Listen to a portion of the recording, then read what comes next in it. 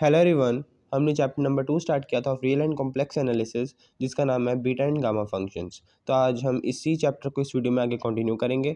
हम exercise two point one कर रहे थे, उसके इस वीडियो में हम एग्जाम्पल्स करेंगे। तो एग्ज़ाम्पल नंबर वन में क्या कहा गया है? Express the following integrals in the terms of beta function आपको ये दो इंटीग्रल्स गिवन है, और आपको कहा गया है इन दोनों इंटीग्रल्स को आपको बीटा फ़ंक्शन की फॉर्म में लेकर आना है। ठीक है? पहले मैं इंटीग्रल पढ़ देता हूँ, क्या लिखे हुए हैं? Integration zero to two under root x, four minus x square की होल की power minus one by four, और सेकेंड इंटीग्रल है zero to a integration x test power n minus one, a minus x whole की power m minus one d x. इन दोनों को आपको beta function की form में लेकर आना है। बीटा फ़ंक्शन का मतलब मैंने आपको बताया था प्रीवियस वीडियो में, बी एम कोमा एन जो होता है, यही आपका बीटा फ़ंक्शन होता है, और ये किसके इक्वल होता है? Zero to one integration x is to power m minus one one minus x की power n minus one d x मतलब कि यहाँ एक वेरिएबल और उसकी power m minus one one minus वही वेरिएबल जो यहाँ लिखा था और उसकी पावर एन माइनस वन तो ये आपकी क्या होती है? बीटा फ़ंक्शन की फॉर्म होती है। तो इसका मतलब आपको जो ये वाले इंटीग्रल्स हैं, इनको भी बीटा फ़ंक्शन की फॉर्म में ही लेकर आना है। मतलब कि इस फॉर्म के अंदर। तो स्टार्ट करते हैं। आपका जो फ़र्स्ट इंटीग्रल है वो है इसको मैं मान लेता हूँ, ये आई के इक्वल है। Zero to two under root x four minus x square की पावर वन बाय फोर और यहाँ डी एक्स भी आएगा, मैंने लिखा नहीं है। इसको मैं कुछ ऐसे लिख सकता हूँ ज़ीरो टू टू एक्स की power one by two four minus x square की power minus one by four d x मतलब कि इस अंडर रूट को वन बाय टू की फॉर्म में लिख सकता हूँ। अब आपको इसको, इस फॉर्म के अंदर लेकर आना है। मतलब कि यहाँ आपके पास एक वेरिएबल है और उसकी पावर कुछ है। ये तो सही है। अब यहाँ आपको क्या चाहिए? वन माइनस वो वाला वेरिएबल मतलब कि एक्स वन माइनस एक्स की पावर कुछ होनी चाहिए। बट यहाँ तो वन की जगह फोर है और यहाँ एक्स अकेला होना चाहिए था, पर एक्स की पावर यहाँ टू है। ठीक है? तो इसको हमें तो कुछ चेंज करना पड़ेगा। तो इसके लिए हम क्या करेंगे? सब्सटीट्यूशन करेंगे। तो इस चैप्टर में ज़्यादातर आपकी सब्सटीट्यूशन ही होंगी। तो सब्सटीट्यूशन कैसे होंगी वो आपको ध्यान में रखनी है। देखिए, हमें यहाँ क्या चाहिए? यहाँ हमें चाहिए वन माइनस वेरिएबल कोई वेरिएबल वन माइनस वेरिएबल तो हम यहाँ क्या करते हैं? यहाँ जो एक्स स्केयर है ना आपके पास, इसको मैं फोर जेड पुट कर देता हूँ। फोर जेड जेड आपका कोई नया वेरिएबल है। फोर जेड क्यों पुट करा? देखिए, अगर यहाँ मैं एक्स स्केयर की जगह फोर जेड पुट करूँगा तो क्या आ जाएगा? फोर माइनस फोर जेड की power minus one by four ठीक है?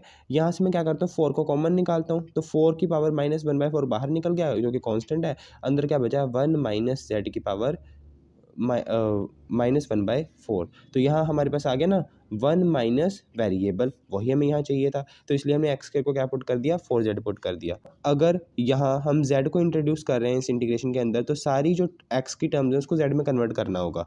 मतलब कि डी एक्स की जगह यहाँ डी जेड वाली कोई टर्म आनी चाहिए, ठीक है? और यहाँ भी एक्स नहीं होना चाहिए, सब कुछ हमें जेड में कन्वर्ट करना होगा। तो शुरू करते हैं।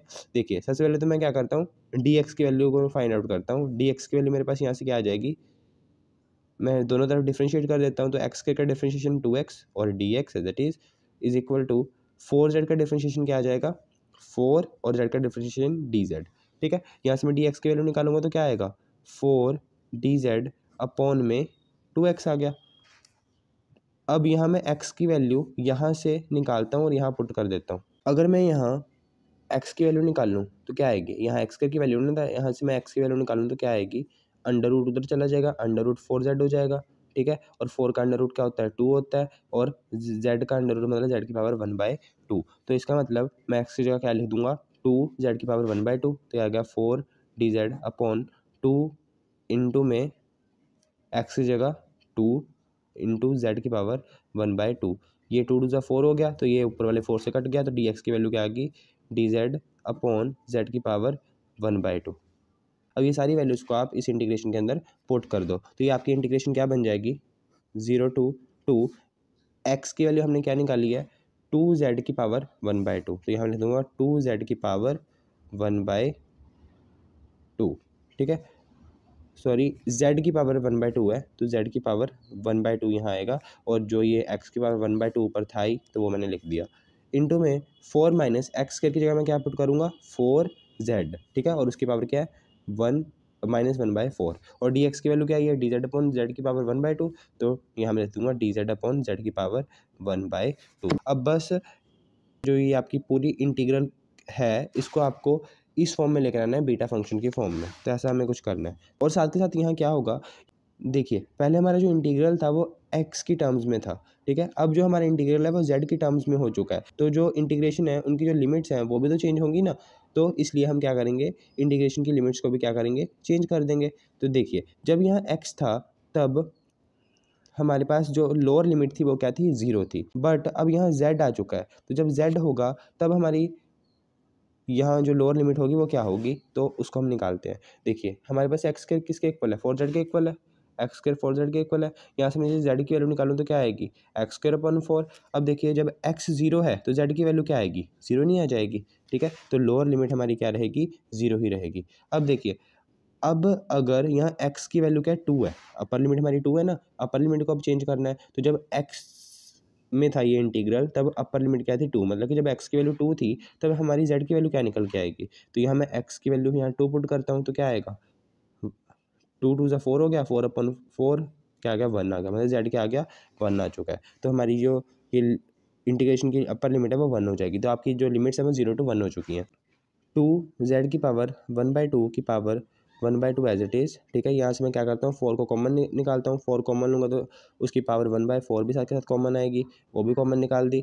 वन माइनस जेड की power minus one by four D Z upon Z की पावर वन बाई टू यहाँ से ये फोर कॉन्स्टेंट है ठीक है? और यहाँ टू की पावर वन बाई टू, ये भी कांस्टेंट है तो इसको मैं बाहर निकाल लेता हूँ तो टू की पावर वन बाई टू को भी बाहर निकाल दिया, फोर की power minus one by four को भी बाहर निकाल दिया, ठीक है ज़ीरो टू वन अब जेड की पावर वन बाई टू है, यहाँ इस, और इसकी जेड की पावर वन बाई टू की पावर भी वन बाई टू है तो इन दोनों को मल्टीप्लाई करेंगे तो क्या बनेगा, वन बाई फोर बनेगा तो यहाँ जेड की पावर वन बाई फोर आ गया, यहाँ क्या बचा, वन माइनस जेड की power minus one by four D Z और साथ के साथ ये नीचे भी तो जेड की पावर वन बाई टू है। जब हम इस जेड की पावर वन बाई टू को ऊपर लेकर जाएँगे तो ये माइनस की हो जाएगी और यहाँ इस जेड की पावर में ऐड हो जाएगी। ठीक है नेक्स्ट स्टेप देखते हैं। ज़ीरो टू वन, यहाँ जेड की पावर क्या है? One by four minus one by two है। इसको सॉल्व करोगे तो जेड की पावर क्या बनेगा? माइनस वन बाई फोर बनेगा। वन माइनस जेड की power minus one by four D Z, ये बाहर कॉन्स्टेंट है। इसको सॉल्व करते हैं। टू की पावर वन बाई टू है ना? ठीक है? फोर को मैं क्या लिख सकता हूँ? टू की पावर टू लिख सकता हूँ और इसकी power minus one by four as it is ठीक है? अब टू इंटू में माइनस वन बाई फोर जब हम करेंगे तो क्या आएगा? टू की power one by two as it is two into minus one by four करेंगे तो minus two by four power हो जाएगी टू की।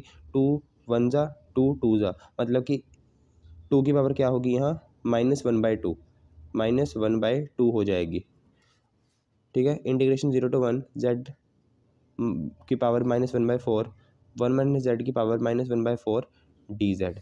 अब देखिए, यहाँ भी टू की पावर वन बाई टू है, यहाँ टू की power minus one by two है। बेस सेम है तो पावर ऐड हो जाएँगी, पावर जब ऐड होंगी तो प्लस का वन बाई टू, माइनस का वन बाई टू ज़ीरो हो जाएगा और टू की पावर ज़ीरो क्या होता है? वन ही होता है। तो हमारे पास क्या बचा? ज़ीरो टू वन, जेड की power one by four, one minus Z की power minus one by four D Z बचा। ठीक है? तो आपका जो इंटीग्रल है, वो ये आ चुका है। अब देखिए ये आपकी बीटा फ़ंक्शन की फॉर्म ही तो है इंटीग्रेशन ज़ीरो टू वन है, ठीक है? जेड की power minus one by four है बल्कि यहाँ एक वेरिएबल उसकी पावर कुछ है, और वन माइनस वही वेरिएबल की पावर कुछ है, और डी जेड ठीक है? तो ये आपकी बीटा फ़ंक्शन की ही फॉर्म है। तो इसको अगर मैं बी एम कोमा एन की टर्म में लिखना चाहूँ तो क्या आएगी? वो, देखिए, यहाँ क्या आएगा? बी एम की जगह क्या आता है? जो आपका जो ये वाला वेरिएबल होता है, पहले वाला, इसकी जो पावर है, उसमें एक ऐड करना होता है मतलब minus one by four plus one comma और इस एन की जगह क्या आएगा? जो वन माइनस जेड की पावर जो होती है, उसमें हमें क्या करना होता है? वन ऐड करना होता है तो ये आ जाएगा। तो ये क्या आएगा? Minus one by four plus one minus one by four plus one ये क्या आ जाएगा? Three by four comma three by four इसका मतलब जो आपके पास ये वाला इंटीग्रल है, इसको हम लिख सकते हैं B three by four comma three by four अब हम नेक्स्ट पार्ट देखते हैं नेक्स्ट पार्ट ये पार्ट आपके लिए होमवर्क है. मैं आपको बस यहाँ ये बता देता हूँ आपको सब्सटीट्यूट क्या करना है यहाँ? देखिए, आप यहाँ से याद रख सकते हो आप कैसे सब्सटीट्यूट करोगे. यहाँ एक्स की पावर कुछ है? ठीक है. यहाँ हमें क्या चाहिए? वन माइनस एक्स की पावर कुछ चाहिए. बट यहाँ वन की जगह क्या है? ए है. तो हम क्या करेंगे? जो आपके पास ये ये एक्स है ना, इसको आप ये पुट कर दो ए जेड एक्स को आप क्या पुट करोगे? ए जेड पुट करोगे। क्योंकि अगर आप एक्स को ए जेड पुट करते हो तो क्या आएगा? ए माइनस ए जेड हो जाएगा ये। ठीक है? तो यहाँ से आप ए को कॉमन निकाल लोगे तो क्या बचेगा? वन माइनस जेड ही तो बचेगा, है ना? मतलब कि वन माइनस कोई वेरिएबल हो गया।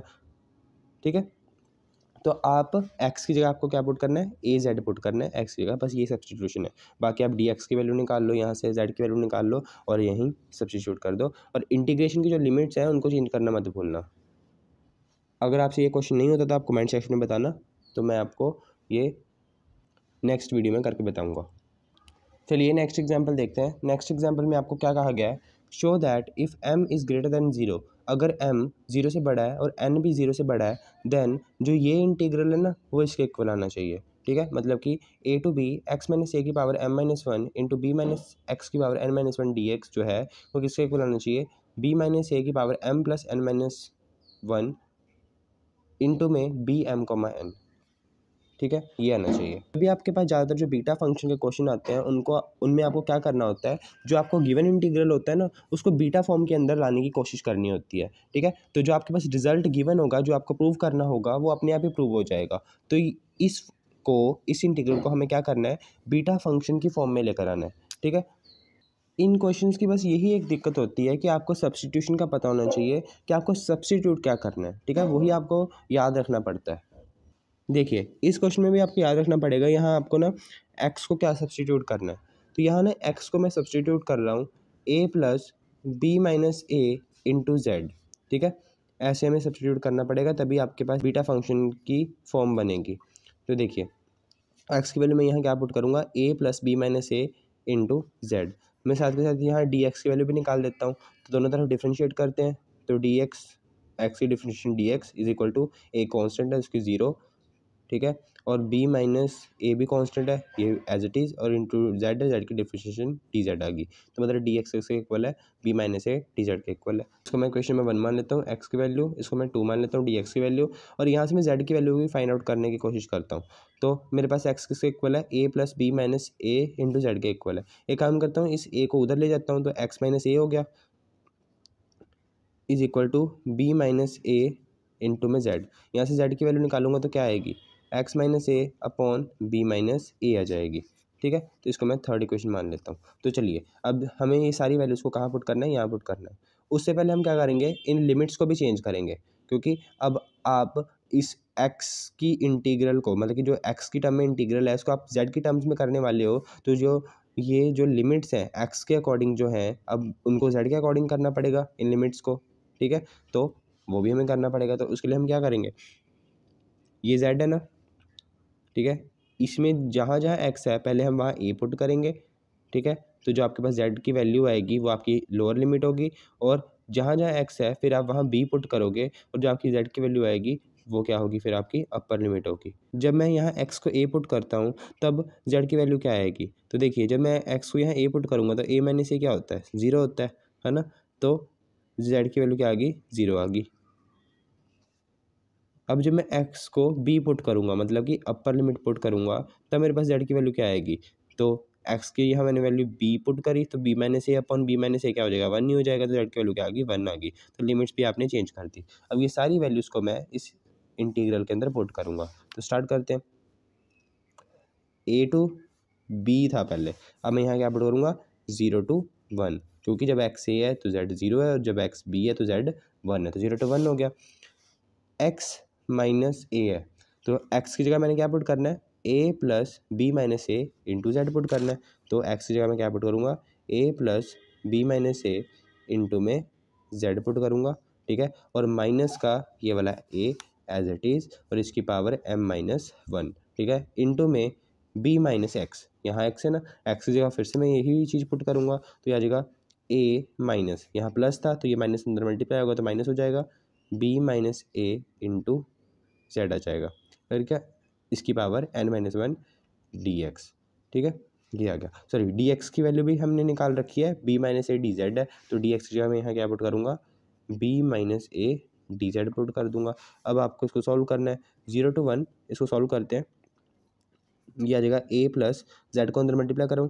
B Z minus A Z minus A की power M minus one B minus A इस माइनस को अंदर मल्टीप्लाई करूँगा तो माइनस बी और जेड को भी साथ साथ मल्टीप्लाई करूँगा तो बी जेड प्लस का ए जेड की पावर एन माइनस वन और यहाँ B minus A D Z as it is next step में ज़ीरो टू वन यहाँ से जो कट रहा है वो काट दो ए से ए कट रहा है, काट दिया, ठीक है?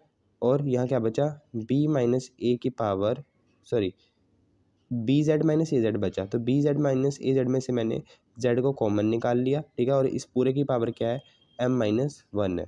इंटू में, यहाँ देखते हैं क्या कट रहा है, कुछ कट रहा है तो काट दो। तो यहाँ हमारे पास कुछ नहीं कट रहा। यहाँ B minus A as it is रहने देते हैं, ठीक है? और यहाँ से क्या हो रहा है, यहाँ हमारे पास जेड कॉमन आ रहा है, ठीक है? तो यहाँ से हम जेड को कॉमन ले लेते हैं और साथ ही साथ माइनस को भी कॉमन ले लेते हैं। तो माइनस जेड को कॉमन लिया तो क्या बचा? बी माइनस ए बचा, ठीक है? और यहाँ भी बी माइनस ए है और इसकी पावर एन माइनस वन आ गया और यहाँ भी बी माइनस ए है और डी जेड नेक्स्ट स्टेप में हम, अब हम क्या करेंगे? जितने भी बी माइनस ए आ रहे हैं, एक तो यहाँ बी माइनस ए है, ठीक है? और एक इन दोनों में से भी बी माइनस ए बाहर कॉमन निकल जाएगा। बी माइनस ए ये है। तो सबको हम क्या करते हैं? मल्टीप्लाई कर देते हैं। देखिए मल्टीप्लाई करने से पहले हम थोड़ा सा और सॉल्व करते हैं। यहाँ क्या है? बी माइनस ए जेड की पावर एम माइनस वन है ना? तो ये जो एम माइनस वन है, इसके साथ भी लग जाएगी और इसके साथ भी लग जाएगी। तो यहाँ मैंने लिख दिया बी माइनस ए की power M minus one Z की पावर एम माइनस वन यहाँ से मैं बी माइनस ए को कॉमन लूँगा। तो बी माइनस ए को कॉमन लिया और साथ ही साथ ये पावर भी निकलेगी एन माइनस वन और अंदर क्या बचेगा मेरे पास? यहाँ क्या है? One minus Z one minus Z बचेगा और इसकी पावर एन माइनस वन और ये B minus A as it is ठीक है? यहाँ भी बी माइनस है, यहाँ भी बी माइनस है, यहाँ भी बी माइनस है। ठीक है? बेस है, इनकी पावर क्या हो जाती है? ऐड हो जाती है तो हमारे पास क्या आ जाएगा? Integration zero to one B minus A की पावर ये वाली पावर एम माइनस वन है प्लस ये वाली पावर एन माइनस वन है प्लस इसकी पावर कुछ नहीं मतलब वन है प्लस वन आ गया। और यहाँ क्या बचेगा? Z M minus one one minus Z की power N minus one D Z ठीक है? नेक्स्ट टाइम में अब आप देख सकते हो कि ये आपकी पूरी टर्म कांस्टेंट है। इसको मैं बाहर निकाल दूँगा। तो बी माइनस ए मैंने इस इंटीग्रेशन से बाहर निकाल दिया। जो कट रहा है वो काट दो। एक ये माइनस वन से प्लस वन कट रहा है। तो आपके पास क्या बचा? बी सॉरी बी की बी माइनस ए की power M plus N minus one बचा। Integration zero to one Z की power M minus one one minus Z की power N minus one D Z तो ये आपकी कौन सी फॉर्म है? ये आपकी बीटा फ़ंक्शन की ही फॉर्म है, ठीक है? ये आपका क्या है? बीटा फ़ंक्शन ही तो है ये, है ना? वेरिएबल की पावर कुछ वन माइनस जेड की पावर कुछ डी जेड और इंटीग्रेशन की लिमिट्स क्या है? ज़ीरो टू वन है, ठीक है? जिसको हम क्या लिख सकते हैं? बी जेड की पावर क्या है? एम माइनस वन है तो इसमें एक ऐड करेंगे तो एम बचेगा। तो एम वन माइनस जेड की पावर क्या है? एन माइनस वन है, इसमें एक ऐड करेंगे तो क्या बचेगा? एन बचेगा। तो ये आ गया। ठीक है? और ये वाली टर्म एज इट इज़ और यही तो हमें चीज़ प्रूव करनी थी। यही कहा गया था ना प्रूव करने के लिए तो ये हमने प्रूव कर दिया। ठीक है? बहुत ईजी है। बस आपको सब्सटीट्यूशन करनी आनी चाहिए। बाकी तो सारी कैलकुलेशन ही हैं।